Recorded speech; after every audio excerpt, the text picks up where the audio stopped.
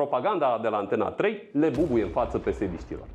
Săptămâna trecută mi-a dedicat Gâdea o emisiune specială. E un angajament prietenesc luat între niște, luat între niște băieți care se consideră de caracter. Un studio întreg îi plângea de milă pe niște sărmani consilieri care n-au încercat decât să obțină prin trafic de influență 50 de panouri publicitare. O afacere de 60-100 de mii de euro pe lună. O mică atenție, cum ar spune PSD. La doar după câteva zile de la emisiune a explodat cazul Coldea, prin care foști general serii obțineau achitări în instanță. Adică dacă știai pe cine trebuie și aveai și punga suficient de generoasă, legea nu era pentru tine. Această rețea avea și un ghișeu unic, avocatul Trăilă. Fix avocatul acuzatorilor mei. Deci nu pot decât să iau cu un gram de sare sentințele în cazurile lor.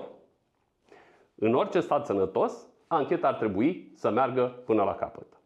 Să fie descoperiți toți cei care îl ajutau pe Coldea, fie ei politicieni sau din justiție. Iar justiția ar trebui să meargă pe traseu înapoi la toate cazurile acestui avocat care împărțea indulgențe pentru speciali.